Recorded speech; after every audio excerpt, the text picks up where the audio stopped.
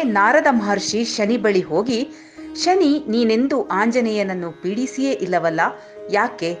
ನಿನಗೆ ಅವನನ್ನು ಕಂಡರೆ ಭಯವೇ ಎಂದು ಪ್ರಶ್ನಿಸುತ್ತಾರೆ. ಆಗ ಶನಿ, ಛೇ ಛೇ, ಭಯವೇನೂ ಇಲ್ಲ. ಆಂಜನೇಯನ ಪೀಡಿಸುವ ಸಂದರ್ಭ ಬಂದಿರಲಿಲ್ಲ ಅಷ್ಟೇ ಎಂದು ಶನಿ ಹೇಳುತ್ತಾನೆ. ನಿನಗೆ ನಿಜವಾಗಿಯೂ ಧೈರ್ಯವಿದ್ದರೆ ಆಂಜನೇಯನನ್ನು ಪೀಡಿಸು ಎಂದು ನಾರದ ಮಹರ್ಷಿಗಳು ಸವಾಲು ಹಾಕುತ್ತಾರೆ. ಈಗಲೇ ಹೊರಟೆ ಎಂದು ಶನಿ ಆಂಜನೇಯನ ಬಳಿ ತೆರಳುತ್ತಾನೆ.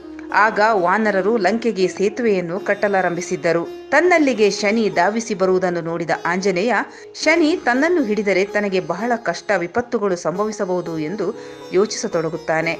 ಶನಿ ಬಂದು, ಆಂಜನೇಯ, ನಾನು ನಿನ್ನನ್ನು ಮಾತನಾಡಿಸಲು ಬಂದಿದ್ದೇನೆ ಎಂದು ಹೇಳುತ್ತಾನೆ. ಆಗ ಆಂಜನೇಯ, ನಾವು ಈಗ ಸೇತುವೆ ನಿರ್ಮಿಸುವುದರಲ್ಲಿ ನಿರತರಾಗಿದ್ದೇವೆ. ನನಗೆ ಸ್ವಲ್ಪ ಸಮಯ ಕೊಡಿ.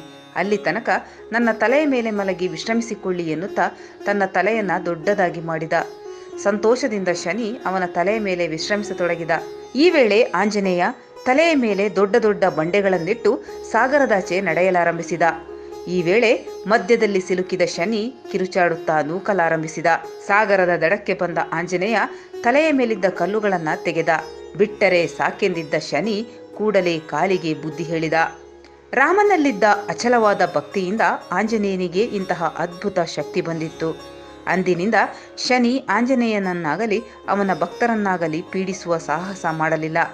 ಹೀಗಾಗಿಯೇ ಶನಿಯಿಂದುಂಟಾದ ತೊಂದರೆಗಳನ್ನು ನಿವಾರಿಸಿಕೊಳ್ಳಲು ಭಕ್ತರು ಶನಿವಾರ ಆಂಜನೇಯನ ಪೂಜೆ ಮಾಡ್ತಾರೆ. ಆಂಜನೇಯನಿಗೆ ತುಳಸಿ ಮಾಲೆ, ಉದ್ದಿನ ವಡೆ, ವೀಳ್ಯದೆಲೆಯ ಹಾರ, ಸಿಂಧೂರ ಅಲಂಕಾರ, ರುದ್ರಾಕ್ಷಿ ಹಾರ ಮುಂತಾದವುಗಳನ್ನು ಅರ್ಪಿಸಿದರೆ ಶನಿಯ ಪ್ರಭಾವ ಕಡಿಮೆಯಾಗುತ್ತದೆ.